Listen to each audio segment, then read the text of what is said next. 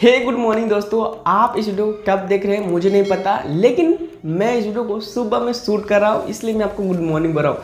लेकिन आप इस वीडियो को कब देख रहे हो, सुबह देख रहे हो, शाम देख रहे हो, मुझे नहीं पता, लेकिन आपको गुड मॉर्निंग बोल रहा हूँ। यदि आपको अच्छा लगे तो लाइक कर देना।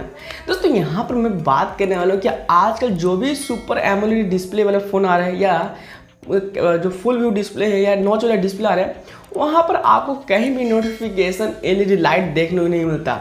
लेकिन दोस्तों, मैं आपको आज सैमसंग गलेक्सी ए फिफ्टी में एक ऐसे ट्रिक के बारे में बता रहे हूँ कि जिससे आप अपने फ़ोन में नोटिफिकेशन लाइट को इनेबल कर सकते हो बहुत आसानी से, बिना कोई दिक्कत को। जैसे कि यहाँ पर आप देख सकते हैं कि मैंने यहाँ पर डिस्प्ले के अंदर ही नोटिफिकेशन एलईडी लाइट ओपन किया। जैसे ही कोई मैसेज आता है या कुछ भी होता है तो यहाँ पर मेरा जो नोटिफिकेशन एलईडी लाइट ब्लिंक करना शुरू होता है टिक टिक करके दिखाने लगता है कि आपके फ़ोन में कुछ मैसेज आया हुआ है।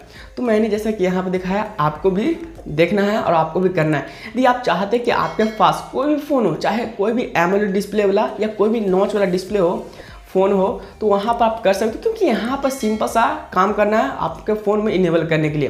तो आप वीडियो के साथ बने रहिए, तब तक आप जान जाएँगे कि आपको क्या क्या करना है और कैसे आप अपने फ़ोन के अंदर नोटिफिकेशन लाइट को इनेबल कर सकते हैं, जो भी नॉच वाले डिस्प्ले है, या एमोलेड डिस्प्ले या सुपर एमोलेड डिस्प्ले या फुल व्यू डिस्प्ले कुछ भी फ़ोन हो वहाँ पर बहुत आसानी से आप कर सकते हो। तो दोस्तों, सबसे पहले आपको अपने इंटरनेट कनेक्शन को ऑन कर लेना चाहे आपके पास वाईफाई हो या डेटा नेटवर्क हो या आपका मोबाइल नेटवर्क हो, कुछ भी हो, यहाँ पर ऑन कर लीजिए। ऑन करने के बाद यहाँ पर आपको सबसे पहले प्ले स्टोर पर जाना है। क्यों दोस्तों? यहाँ पर प्ले स्टोर पर एक ऐप डाउनलोड करना है, जिसकी मदद से यहाँ पर आप अपने फ़ोन में कर सकते हैं। क्यों दोस्तों? ये बहुत न्यूली ऐप है अच्छा ऐप है और बहुत ही अच्छे रेट के साथ आता है। जैसे कि देख सकते हैं फिफ्टी के प्लस डाउनलोड से थ्री पॉइंट सिक्स का रेटिंग है, जो बहुत अच्छा इंडिकेट करता है। तो सबसे पहले इस ऐप को इंस्टॉल कर लीजिए। इंस्टॉल करेंगे तो यहाँ पर आपको कुछ चार से साढ़े चार एम का ये ऐप है तो आपको डाउनलोड कर लेना है। उसको तो यहाँ पर आपको सिंपली इसे क्लिक करना है। दोस्तों, इसके आपको जाते ही आपको कुछ परमिशन मांगा है, जैसे कि आपके फ़ोन में जाकर जो भी आपको ऐप परमिशन है, उसको अलाउ करना है, जैसे कि आप देख रहे हैं स्क्रीन पर, उस तरह से आपको कुछ भी अलाउ करते चला जाना है।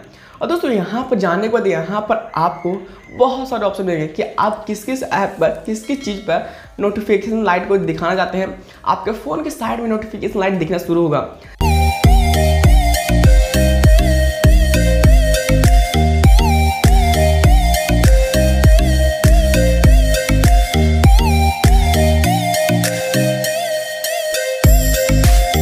यहाँ पर आप जिस जिस ऐप पर लगाना चाहते हैं तो यहाँ पर आप सिंपली टैप कीजिए और इनेबल करते जाइए। इनेबल जैसे जैसे करेंगे, जिस जिस ऐप पर, वहाँ पर आपको नोटिफिकेशन आएगा।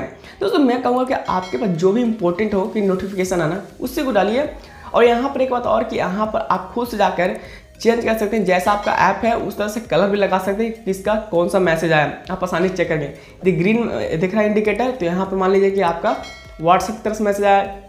रेड आया तो आप मान लीजिए कि यूट्यूब की तरफ़ से आया इस तरह से आप खुद का नोटिफिकेशन लाइट लगा सकते हैं। दोस्तों, यहाँ पर देखिए, बीच में आपको सिस्टम का यानी जो सिस्टम ऐप है यूट्यूब यूट्यूब जो भी मतलब कि मोबाइल में पहले से ऑलरेडी है, वो दिखाएगा। उसके बाद नीचे में देखें साइड में तो एक्टिव का ऑप्शन मिलता है। वहाँ पर देखेंगे आपको बहुत जो जो आपने इनेबल किया, वहाँ पर देखिए, और वहाँ पर सिंपली टैप करके क्लिक करके वहाँ पर आप उसका कलर चेंज कर सकते हैं। जैसे रेड कलर का ऐप है तो रेड कलर का यूट्यूब रेड कलर का है तो रेड कलर का व्हाट्सअप ग्रीन है तो ग्रीन कलर का। डाल सकते हैं खुद से। जैसा कि नोटिफिकेशन लाइट में आपको आएगा तो दिखेगा। उसके बाद यहाँ पर आपको सेटिंग के ऊपर जाना है थ्री डॉट के ऊपर सेटिंग पर क्लिक करना है। यहाँ पर आप चाहते हैं कि कितने सेकंड आपका लाइट ब्लिंक हो तो यहाँ पर मैंने 10 सेकंड कर दिया है। उसके बाद यहाँ पर कितने इंटरवल के बाद हो तो मैंने टू सेकंड के बाद किया है, और ये कब तक चलना चाहिए? लगभग तीस मिनट तक मेरे अनुसार से ठीक है सफिशियंट है। और उसके बाद चले आना है।